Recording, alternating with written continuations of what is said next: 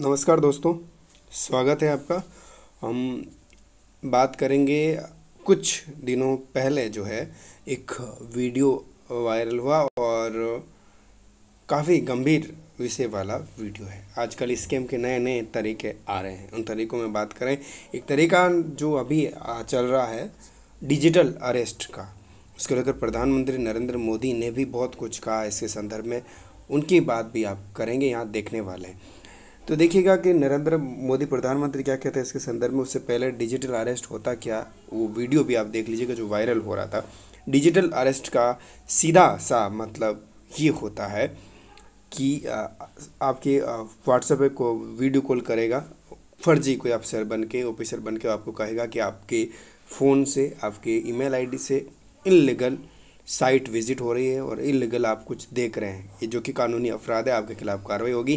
फिर आपका आधार card verification की बात करता है, फिर आपसे एक जो है, उससे कॉम्प्रोमाइज़ करने की बात करता है कि हम हम ऐसा कर दीजिए, इस पर यह बात कर लीजिए, वैसा हो जाएगा।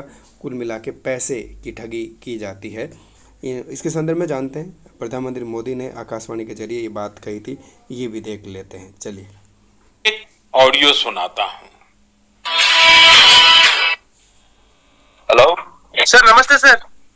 नमस्ते। सर बोलिए सर। देखिए जो आपने एफआईआर नंबर मुझे सेंड किया है इस नंबर के खिलाफ 17 कंप्लेंट हमारे पास। आप ये नंबर यूज़ कर रहे हैं? मैंने नहीं यूज़ करता हूँ सर। अभी कहाँ से बात कर रहे हो? Sir Karnataka sir. वो मैं घर में हूँ सर। ओके इसके लिए आप अपनी स्टेट में रिकॉर्ड करवाइए ताकि नंबर ब्लॉक कर दिया जाए। फ्यूचर में आपको कोई प्रॉब्लम ना हो ओके?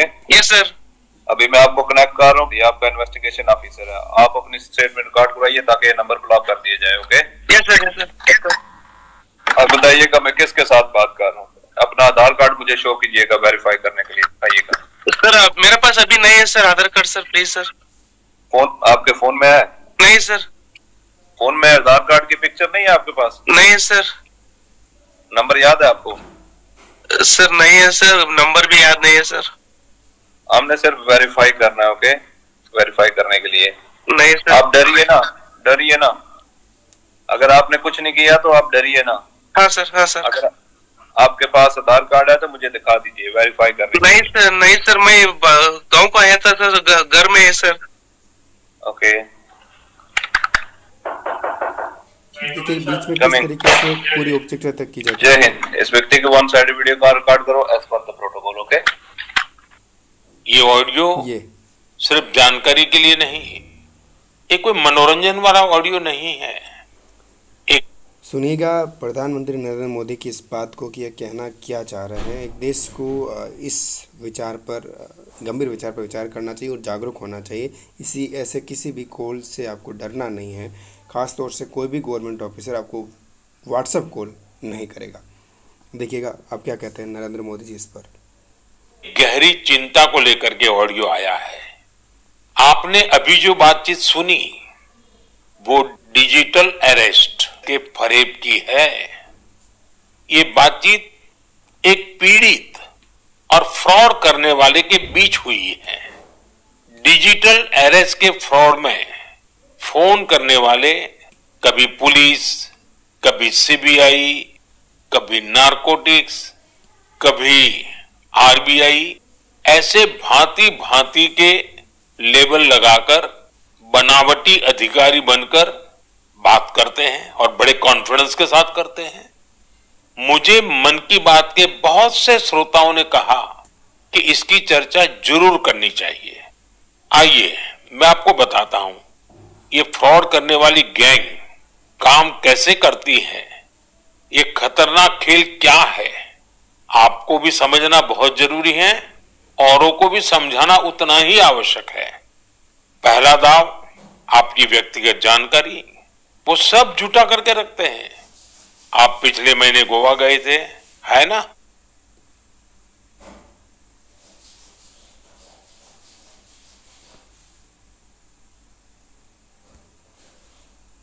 इतनी जानकारी जुटाकर रखते हैं कि आप दंग रह जाएँगे।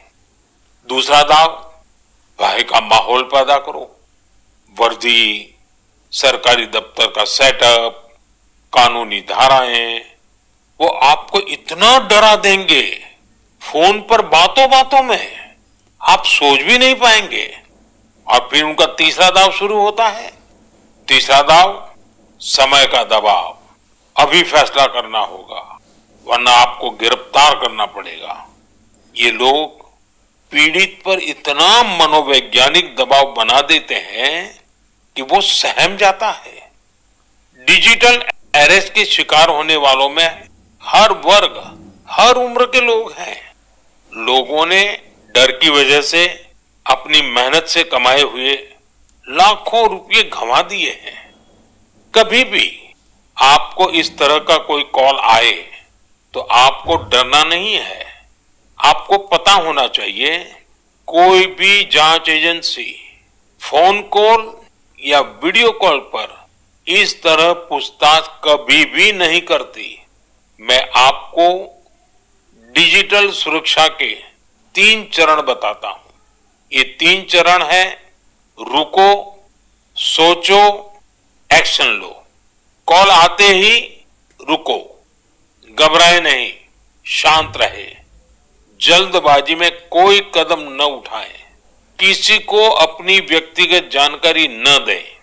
संभव हो तो स्क्रीनशॉट लें और रिकॉर्डिंग ज़रूर करें। इसके बाद आता है दूसरा चरण। पहला चरण था रुको, दूसरा चरण है सोचो। कोई भी सरकारी एजेंसी फ़ोन पर ऐसे धमकी नहीं देती। न ही वीडियो कॉल पर पूछताछ करती है। न ही तो ये ऐसे पैसा की मांग करती है। अगर डर लगे तो समझिए कुछ गड़बड़ है। और पहला चरण दूसरा चरण और अब मैं कहता हूँ तीसरा चरण। पहले चरण में मैंने कहा रुको दूसरे चरण में मैंने कहा सोचो।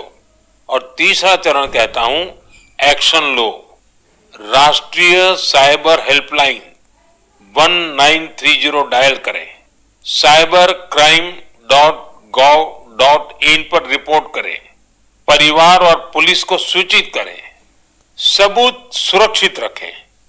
रुको, बाद में सोचो और फिर एक्शन लो। ये तीन चरण आपकी डिजिटल सुरक्षा का रक्षक बनेंगे।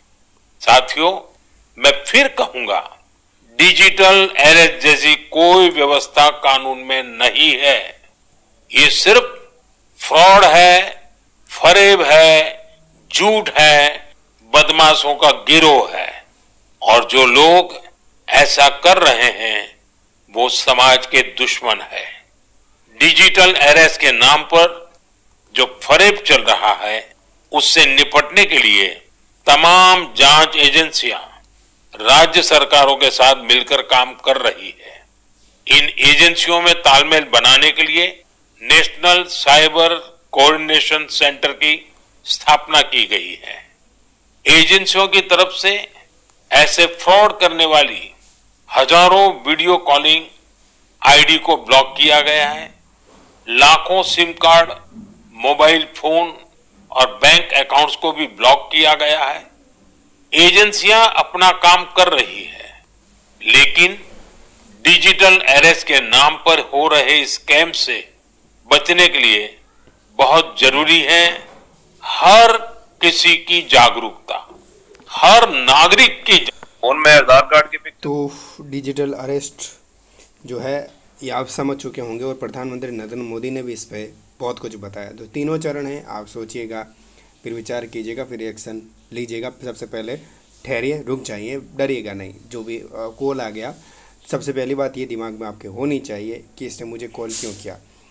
अगर ऑफिसर है तो मुझे थाने बुलाएँ एजेंसी बुलाएँ। मुझे कॉल क्यों किया? कोई भी ऑफिसर कॉल नहीं करेगा, ऐसी किसी भी तरह की इन्वेस्टिगेशन नहीं होती। खासतौर से वीडियो कॉल व्हाट्सअप पे। व्हाट्सएप पे वीडियो कॉल क्योंकि ये रिकॉर्ड नहीं होता। इसलिए ये सब करते हैं, इसी का फ़ायदा उठाते हैं।